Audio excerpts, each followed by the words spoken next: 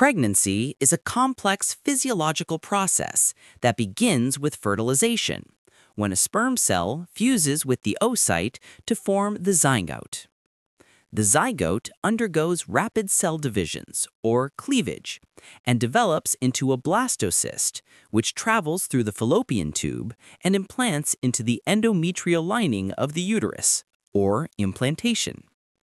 Following implantation, the trophoblast differentiates and gives rise to the placenta, a vital organ that ensures gas exchange, nutrient delivery, and waste removal between mother and fetus.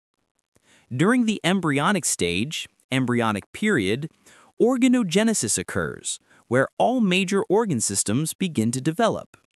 By the end of this period, the embryo transitions into the fetal stage, characterized by growth, functional maturation, and structural differentiation. Pregnancy is divided into three trimesters.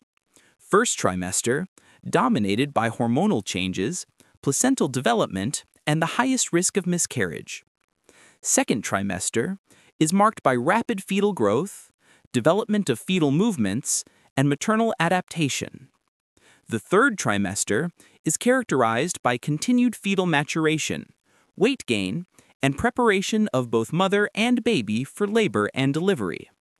This remarkable journey highlights the intricate coordination between maternal physiology and fetal development, making pregnancy one of the most fascinating processes in human biology.